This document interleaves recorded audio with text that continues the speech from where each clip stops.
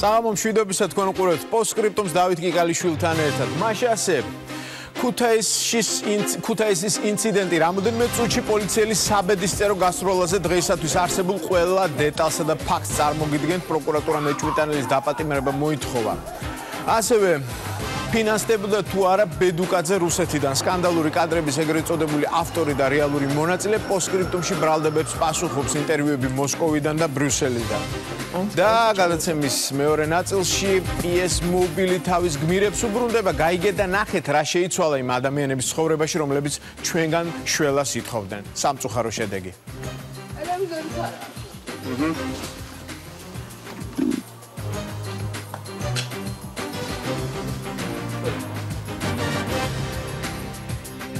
კეთილი ოცნების 2 წლის თავზე სკანდალურ ციხის კადრების ეგრეთ წოდებულ ავტორსა და რეალურ მონაწილეს მედიაში ბრალდებები წაუყენეს.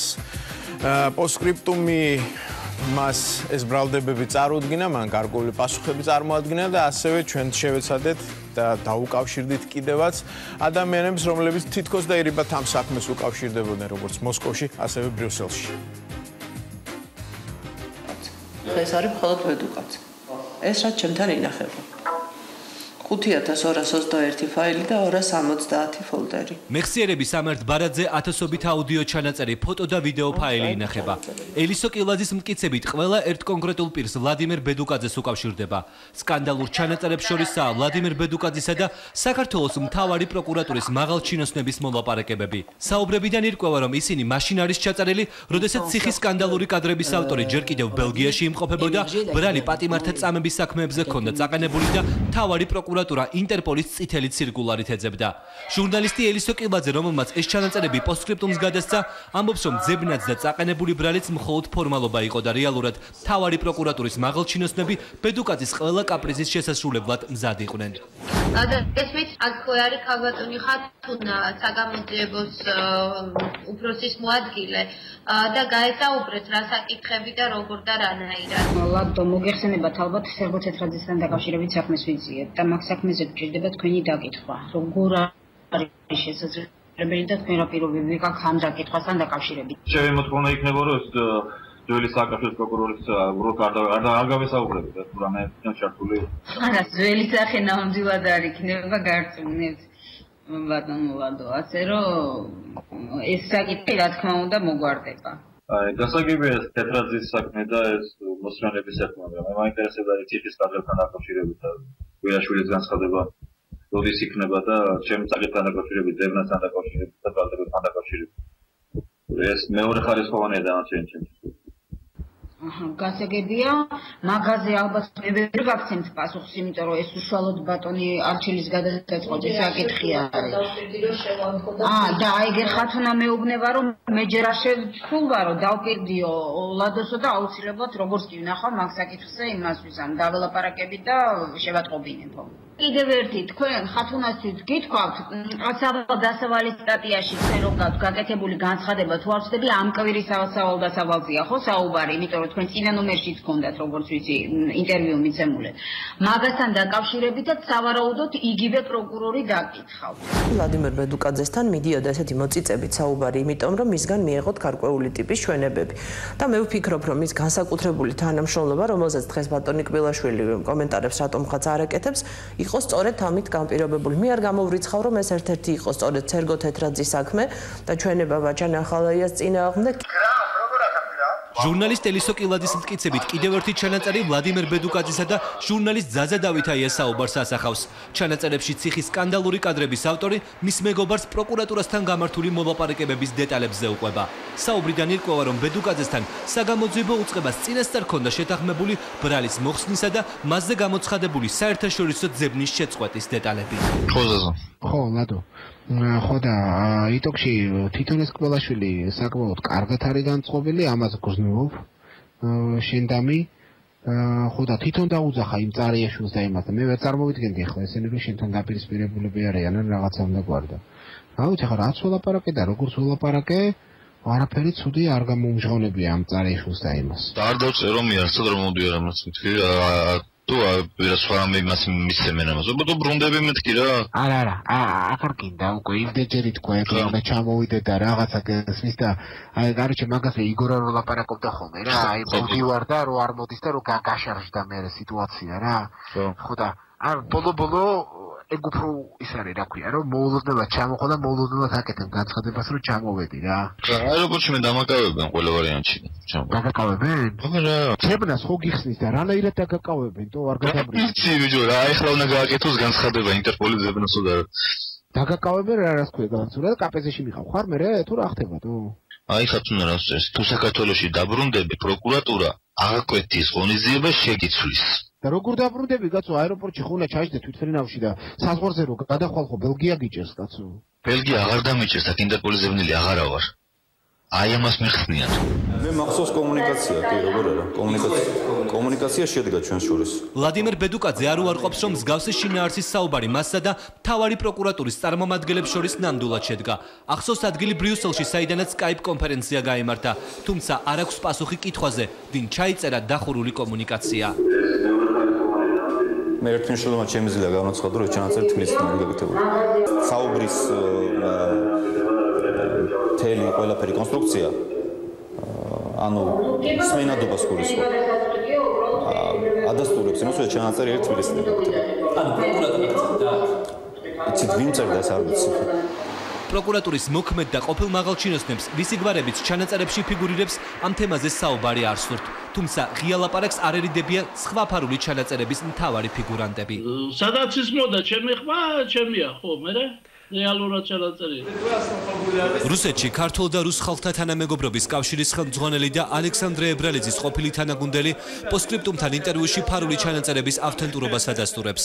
ვლადიმერ ხომერიკი ამბობს, რომ 2012 წლის შემოდგომაზე მასა და იბერიულ კავკასიური ფონდის ხელმძღვანელ ზაზა გაბედავას შორის ეს საუბარი ნამდვილად შედგა. აუდიო ჩანაწერი ინტერნეტში YouTube-ის სერვერზე რამდენიმე დღის წინ აიტვირთა.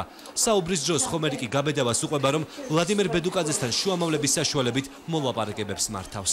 Кирилл, я что что хочу спросить. Вот когда в этом были мы около консульства Грузинского. Короче, რომ ითხარი, იმ ლადო ბედუკიძეს ჩემი ბიჭები ელაპარაკებიან აქედა, ვინ ელაპარაკება მოსწავლეებთან, მაგრამ ბედუკიძე როა. который... Раткин, вы ელაპარაკება, ელაპარაკებია მოსკოვიდან და ფინეთის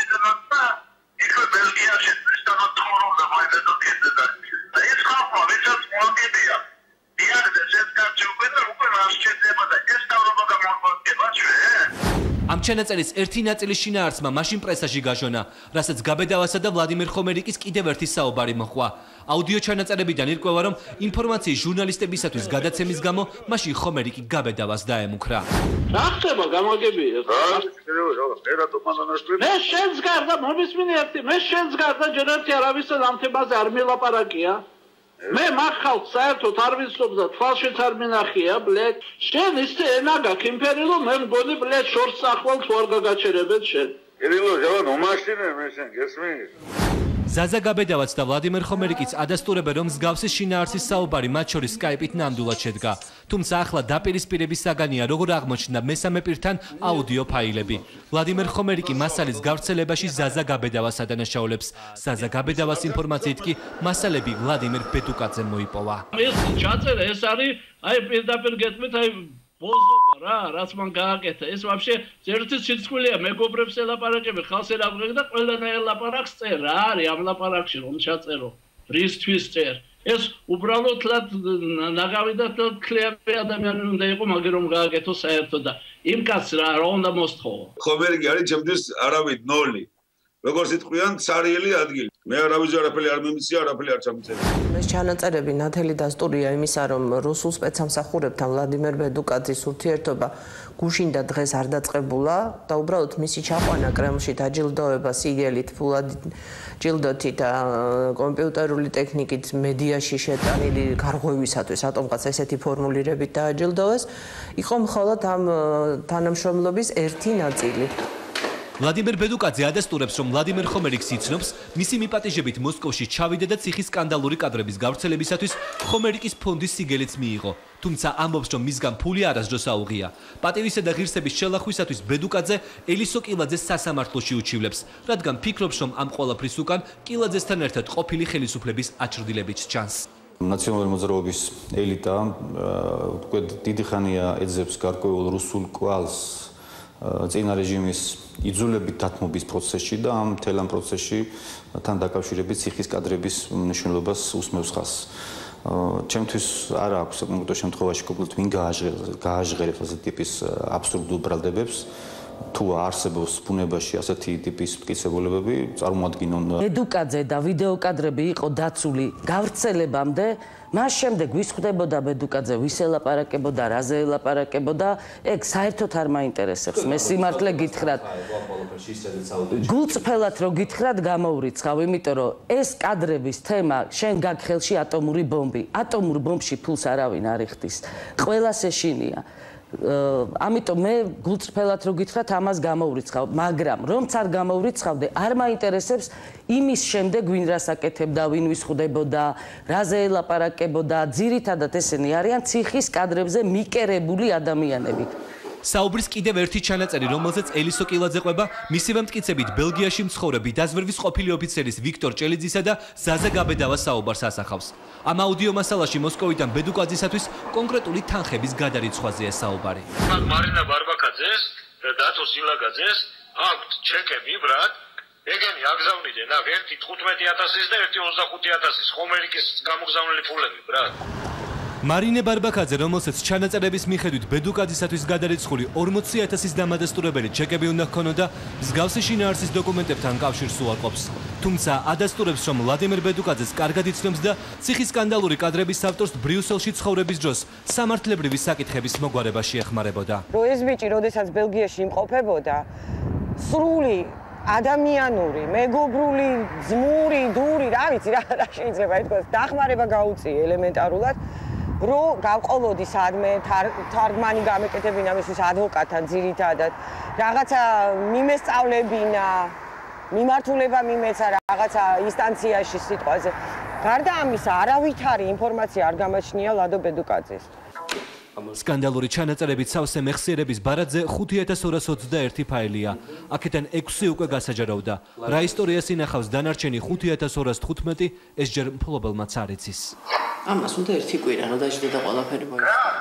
ახლა მოურავმაო მითხრაო რომ იქნებო ლალისო დაელაპარაკო რატო იცავსო ჩემს დასაცავს. ეკითხარ. თავისი ადვოკატი. საქართველოს ხელისუფლებამ ევროსაბჭოდან საკმაოდ მკაცრი შენიშვნები მიიღო და გასულ კვირას მათზე რეაქცია კარგი ილუსტრაცია იყო თუ ვინ და რა ფასეულობების მატარებელია დღევანდელ პოლიტიკურ სპექტრში. ჩემი კოლეგა მიხელ სესიაშვილი უფრო ღრმა ჩახვა ამ საკითხზე და დაინტერესდა, რამდენად ახლოსაა სიტყვა საქმესთან ქვეყანაში, რომელსაც ამბიცია აქვს ევროატლანტიკური ოჯახის წევრი გახდეს. ზუსტად მახსოვს 6-20 წუთი იყო დაგვიბარეს დირექტორის კაბინეტში მთელი ჩემი სამსახურის შემადგენლობით და დირექტორი გიკითხა, წაგიკითხა ეს განთავისუფლების წერილი, გენინსპექციის წერილი, რომლის საფუძველზე ჩვენ ვიყავით განთავისუფლებულ დაკავებულ თანამდებობიდან. იმავე წერილით 2013 წლის 1 აპრილს სამსახური ნანა ბუჟგულაშვილის მსგავსად გორის სამხედრო ჰოსპიტალის კიდევ 25 თანამშრომელმა